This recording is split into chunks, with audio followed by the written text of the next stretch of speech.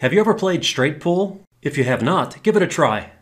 When playing solo, you start with cue ball and object ball in hand, trying to pocket the ball and break out the remaining 14 so you can continue your run. Straight pool is excellent practice because you get to pocket lots of balls and you will learn a lot about cue ball control, smart pattern play, identifying key balls, using combos, caroms, and kisses, and solving problems like clusters and blocked pockets. After you run the first rack, you leave the last object ball and cue ball where they lie for the next break. Obviously, where you leave the balls is critical. Then you keep running and racking to see how many balls you can run continuously. For a challenge, try to run your age every year, starting on your birthday. This is obviously easier when you are younger, but as you get older, it becomes a growing challenge. I've recently turned 56, and I've challenged myself to run 56 balls before my next birthday.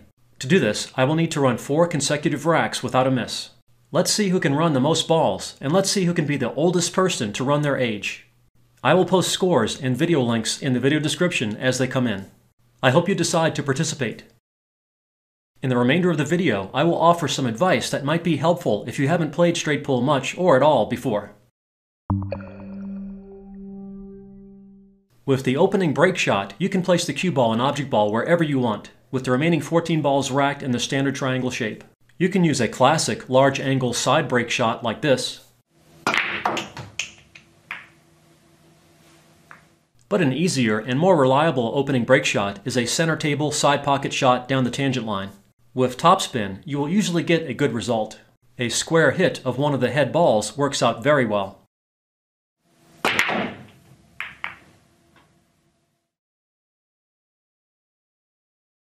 Here's another example.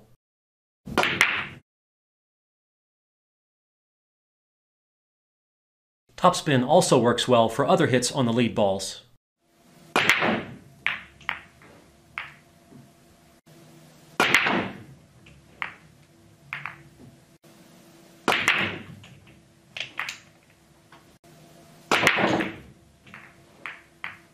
You just need to make sure you use enough topspin. If you don't, the cue ball will bounce back up table. And if you use too much topspin, the cue ball will head down table, although you will often have a shot.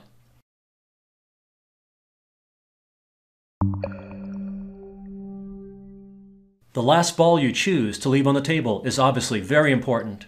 Generally, it is best to leave the break ball in this area next to the rack, where the cue ball will easily hit the middle of the side of the rack where it can better spread the balls. You also want to leave the cue ball in a reachable position, not too far from the object ball, with as much cut angle as you can handle, without being at too much risk of missing the shot. The bigger the angle, the more speed the cue ball will retain off the object ball to deliver more power into the rack.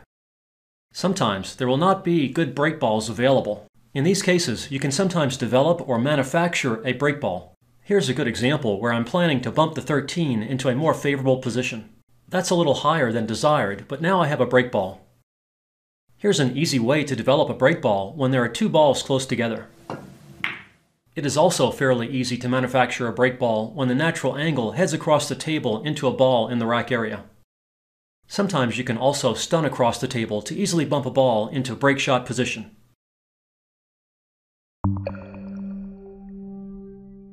Probably the most important skill in straight pool is choosing a pattern to close out a rack to leave the chosen break ball and cue ball position for a good break shot. Here's a good example where I left a good angle on the key ball for the natural angle to head straight into the desired line of the break shot. Here's another example where I was able to roll each of the last three shots to get good position.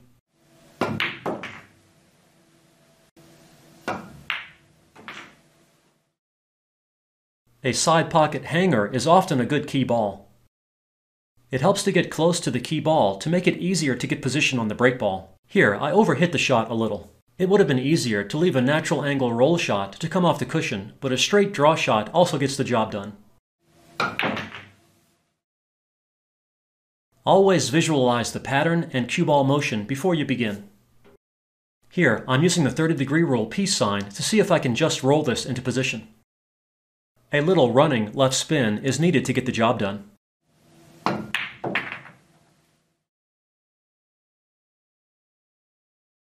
Things don't always work out as planned, but as long as you get back into line for the break shot, you can continue your run. Here, I overhit the first shot. In a shorter position with an angle, I could have easily positioned for a stop shot on the 13 and the side. Instead, I need to force position with right spin. That wasn't quite enough spin, and now I need to stun with right spin to get a good shot at the 8. I used a little too much spin on this one, and didn't leave as much angle on the 8 as I wanted, but that works. See what happens when you don't have a bigger cut angle on the break shot? The balls don't spread as well. Here, I left a bad angle on the 1, and I need to send the cue ball across the line of the 5, making precise position more difficult. I left that straight, so I need to cheat the pocket a little and power stun the cue ball over for a good angle on the 13. I let that stun forward a little too much, and now I need to really bring one. Since the cut angle is extremely large, I decide to use lots of outside spin to help throw the ball in. The system for aiming with side spin, linked in the video description, really comes in handy in situations like this. Notice how follow with the side spin helped get the cue ball out toward the center of the table.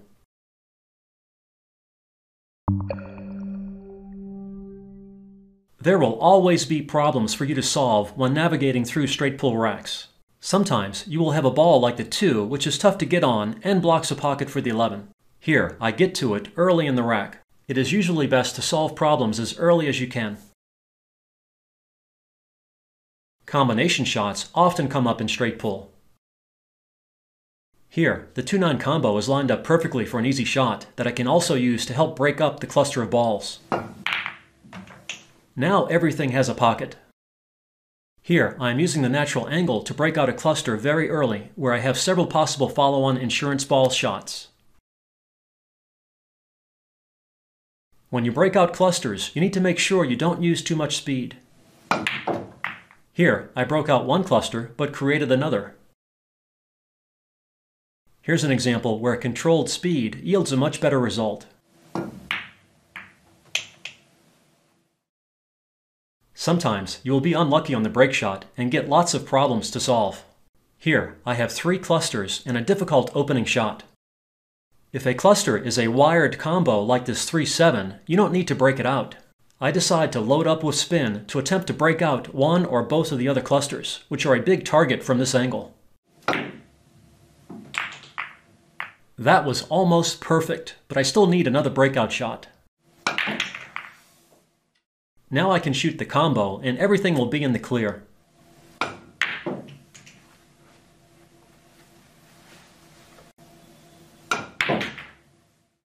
I can use the 8 as a break ball, but I decide to bump the 13 to develop another option. Straight pool involves lots of interesting strategy like this. Here's another good example. First, I set up a breakout shot that lets me hit the cluster from underneath, where I will send the cluster balls into the open, and where there are many insurance balls for possible follow-on shots. Unfortunately, I overspun that a bit and missed my target a little.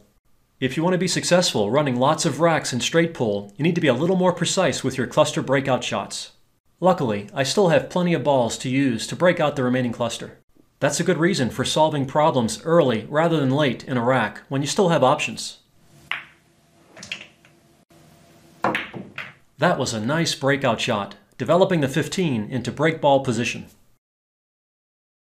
Sometimes, when there is a large cluster of balls, you can solve the problem with a wired combo in the rack. Here, I am checking to see if the 2-5 is wired to the corner. If it were, I could hit into the 9 to pocket the 5 and break out some of the rack. It isn't quite on here, but always look for these opportunities. I've said several times to solve problems as soon as you can, but sometimes it is better to wait a little. Here's an example where an early breakout just creates more problems.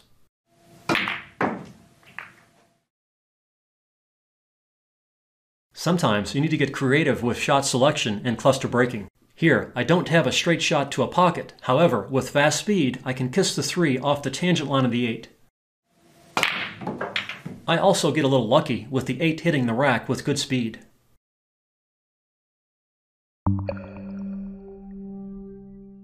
There are many subtleties involved with break shot selection and deciding the type of spin to use based on cue ball and object ball positions. Entire books and videos could be filled with this topic alone, but I just want to cover a few useful pointers. First, when the break ball is close to the rack, it is very easy to visualize where the cue ball will hit the rack. Here, the cue ball will hit the 11 very squarely. In situations like this, the cue ball will naturally bounce back due to the larger effective mass of the rack, and stun is a good choice.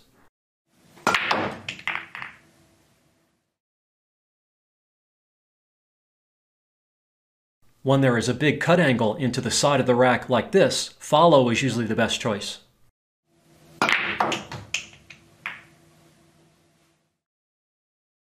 Here's another example.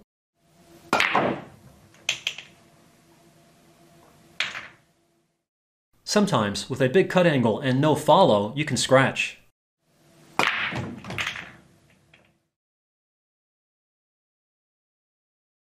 But with topspin, you usually avoid a scratch and get a good outcome.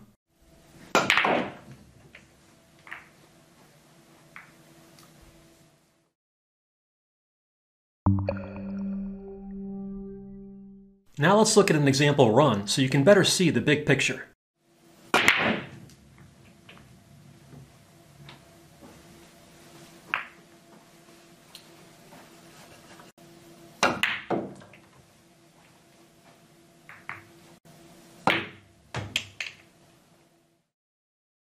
This shot was a little careless because I really set the cue ball loose, but there were many possible balls for a follow-on shot, so I wasn't too worried. But in general, it is better to keep the cue ball on a tighter leash in straight pool.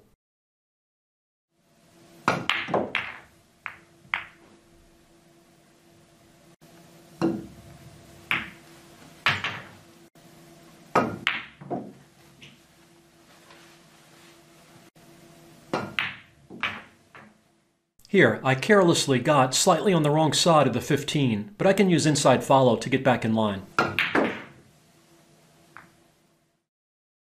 Now the final three ball pattern is easy. Notice how I use follow here, as discussed earlier. That's a nice spread.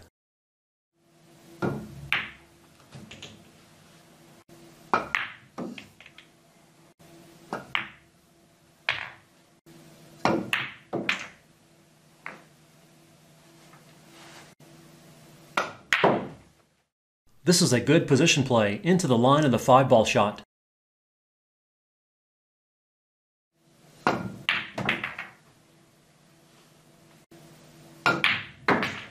Here, instead of planning to break out the 113 cluster late in the rack, I decide to play for short side shape.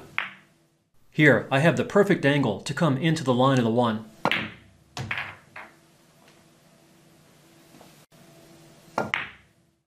Balls fairly close in a triangle like this often allow a good ending pattern. That was a good shot to make it easy to get shape on the break ball. See how easy this is? I should be able to do this all day long and break John Schmidt's record run of 626, right? Not. I carelessly missed the break shot because I was trying to use too much power to compensate for the relatively small cut angle. That ends the run at 29.